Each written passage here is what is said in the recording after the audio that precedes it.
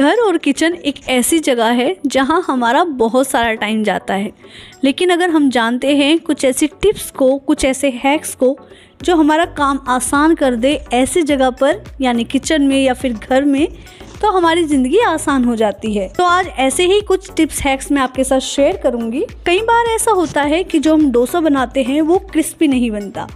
अगर आपका डोसा भी क्रिस्पी नहीं बनता है तो आप उसमें इस बार जब भी बैटर बनाएँ तो दो चम्मच आप ज़रूर से ऐड कीजिएगा सूजी की, और उसके बाद जो बैटर है, आप उसे फर्मेंटेशन के लिए छोड़ दें। इसके बाद आप जब भी डोसा बनाएँगे तो कभी ऐसा नहीं होगा कि आपका जो डोसा है, वो बहुत अच्छे से क्रिस्पी ना बने। तो अगली बार जब भी डोसा बनाएँ तो उसमें आप सूजी को ऐड करना बिल्कुल मत भूलिएगा। पनीर जब भी हम लाते हैं तो कई बार वो बच ही जाता है। उसमें एक अजीब सी स्मेल हो जाती है। अगर आप चाहते हैं आपके पनीर में स्मेल ना हो तो उसे हमेशा आप पानी से फुल करके रखें और इस पानी को आप डेली चेंज करें। जिस कढ़ाई में हम पूरी बनाते हैं, हमेशा उसकी हालत कुछ ऐसे ही हो जाती है। अगर आप इसे रगड़ने बैठेंगे तो ये बहुत ज़्यादा आपका टाइम कंज्यूम करेगी। तो आप जब भी पूरी की कढ़ाई को साफ़ करें तो देखिए हमेशा गर्म पानी में आप थोड़ा सा विनेगर ऐड कीजिए। उसके बाद आप इसको इसमें डिप करके छोड़ दीजिए कम से कम एक घंटे के लिए। ये कढ़ाई पर ही यूज़ नहीं करना है आपको। आप हर उस बर्तन पे इस टिप को इस्तेमाल कर सकते हैं अप्लाई कर सकते हैं, जिसमें भी आपको लगता है कि ऑयल से वो जल गई है और आपका बहुत ज़्यादा टाइम लेने वाली है। तो एक घंटे के बाद जब आप इसे निकाल कर इस तरह से साफ़ करेंगे तो देखिए, आप देखेंगे कि बिल्कुल हल्का सा आप इसे रब करेंगे और इसकी जितनी भी गंदगी है, वो साफ़ हो जाएगी। ये बिल्कुल मत सोचिएगा कि मैं आपको दिखाने के लिए ऐसा कर रही हूँ। देखिए, बिल्कुल हल्के से अब मैं जूना लगा रही हूँ और ये साफ़ हो रही है। आप आराम से इसे अपना सकते हैं, ट्राई कर सकते हैं और आप देखेंगे कि आपका घंटों का काम मिनटों में हो जाएगा। तो अगली बार अपनी मेहनत को बेकार करने की ज़रूरत नहीं है। आप इस टाइम को दे सकते हैं अपने बच्चों को फैमिली को। और देखिए, कढ़ाई एकदम चमक गई है, वो भी बिल्कुल लेस एफर्ट से।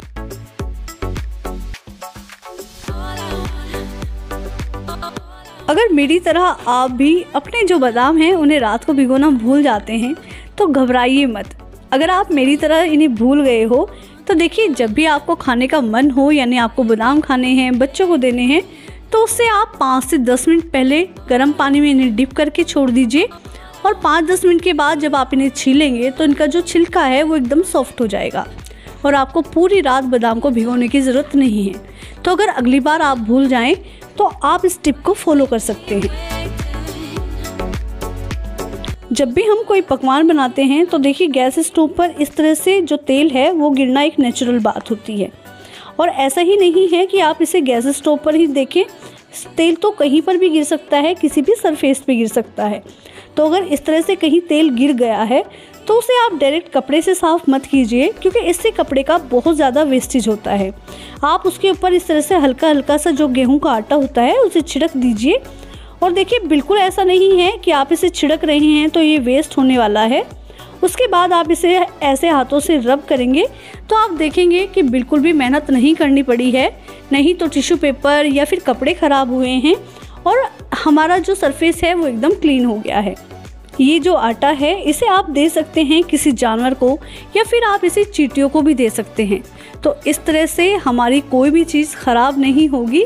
ऊपर से हमारा जो काम है वो भी आसान हो जाएगा। तो देखिए हल्का सा मैंने इसे आटे को अच्छे से रब किया था इसके ऊपर, और उसके बाद जो गैस स्टोव है वो कितना अच्छे से क्लीन हो गया है। मिक्सर जार को हम सब अंदर से बहुत अच्छे से चमका के रखते हैं, लेकिन अगर आप इसको पलट के देखेंगे तो आप देखेंगे कि अंदर की साइड बहुत ज़्यादा गंदगी जमा रहती है। अगर आप इसको वीकली साफ़ नहीं करेंगे तो ये बहुत सारी बीमारियाँ लेकर आती हैं। तो देखिए, जब भी आपको जार को अंदर से इस तरह से क्लीन करना हो तो आप उसमें थोड़ा सा गर्म पानी भरिए, उसमें ऐड कीजिए आप वाइट विनेगर की। और उसमें उसके बाद ऐड करना है आपको खाने वाला सोडा, जिसे हम बेकिंग में यूज़ करते हैं। जो हमारे मिक्सर जार है, इसको क्लीन करने की एक सेपरेट वीडियो मेरे चैनल पर ऑलरेडी है। उसका लिंक मैं आपको दे दूँगी, आप चाहें तो उसे ज़रूर से चेकआउट कीजिएगा। घर के सामानों से ही हम इन्हें बहुत अच्छे से साफ़ कर सकते हैं। देखिए, उसके बाद मैंने एक ख़राब सा टूथब्रश लिया है। और इससे जब आप इसको साफ़ करेंगे तो आप देखेंगे कि जो जार पहले अच्छे से क्लीन नहीं हो रहा था, वो ईज़िली क्लीन हो गया। आप चाहें तो इसको आप बहुत अच्छे से खोल के भी वीकली क्लीन कर सकते हैं। देखिए अंदर की तरफ़ कितनी ज़्यादा गंदगी है। इसको आप अच्छे से अब क्लीन करेंगे तो ये और जल्दी साफ़ हो जाएगी। तो इस तरह से जार को अगली बार आप ज़रूर से साफ़ कीजिएगा और कम से कम आप इसे वीकली ज़रूर से साफ़ कीजिए। क्योंकि इसके अंदर बहुत सारी ऐसी गंदगी होती है जो हमें दिखाई नहीं देती, लेकिन वो जो ख़राब फ़ूड पार्टिकल होते हैं, हमारे खाने में मिलते रहते हैं। तो अगली बार इस तरह से आप जार को ज़रूर से चमकाइएगा, वो भी बिना किसी एक्स्ट्रा एफर्ट्स की। जो हमारे स्पून होल्डर होते हैं, अगर आप उन्हें गौर से देखेंगे तो आप देखेंगे कि अंदर की तरफ़ उसमें ढेर सारी गंदगी जमा हो गई है। इनको आप वीकली ज़रूर से क्लीन कीजिएगा।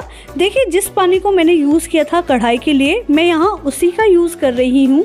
आप इसमें डिप करके छोड़ दीजिए इन कंटेनर्स को पाँच से दस मिनट के लिए और बस इतने ही कम टाइम में ये आराम से फूल जाएँगे। और इसके बाद आप इन्हें किसी भी ब्रश की हेल्प से, जिससे आप अपने बर्तन साफ़ करते हैं या फिर टूथब्रश की हेल्प से साफ़ कर सकते हैं। बहुत आसानी से इनकी सारी गंदगी चली जाती है। और आप भी इस बात का ख्याल रखिएगा कि कम से कम हफ़्ते में एक बार आपके जो स्पून होल्डर हैं, उन्हें ज़रूर से साफ़ करें। घर के जो दरवाजे होते हैं, बरसात में उनमें से आवाज़ आने लगती है, जो देखने में भी ख़राब लगते हैं और कहते हैं कि वास्तु के हिसाब से भी ये चीज़ अच्छी नहीं होती। अगर आपके साथ भी ये प्रॉब्लम है तो आप उसमें सरसों का तेल डाल सकते हैं, या फिर मेरी तरह इस तरह मशीन के ऑयल का यूज़ कर सकते हैं और आवाज़ बिल्कुल नहीं आएगी। जब भी हम दलिया बनाते हैं तो वो बहुत ज़्यादा टाइम लेता है गलने में। तो अगर आप इस बार दलिया बनाने की सोच रहे हैं तो बस बनाने से कुछ देर पहले आप उसे भिगो दीजिएगा गर्म पानी में। आप देखेंगे कि पाँच से दस मिनट तक भीगने के बाद ही वो बहुत अच्छे से फूल गया है और इससे आपका टाइम भी बचेगा और आपकी गैस भी बचेगी। तो इस बार जब दलिया बनाएँ तो इस टिप को ज़रूर से फॉलो कीजिएगा। तो दोस्तों, आज के लिए था इतना ही। अगर आपको वीडियो पसंद आई है तो इसे लाइक कीजिएगा शेयर कीजिएगा। अगर आपने अभी तक चैनल को सब्सक्राइब नहीं किया है तो किस बात की देरी है, जल्दी से सब्सक्राइब कर लीजिए और उसके बाजू में जो बेल बटन है, उसे भी प्रेस कर लीजिए, ताकि कोई भी वीडियो आपसे मिस ना हो। बहुत जल्दी मुलाकात होगी आपसे एक नई और इंटरेस्टिंग वीडियो के साथ। तब तक के लिए अपना और अपनों का ढेर सारा ख्याल रखिए। Okay friends thank you and bye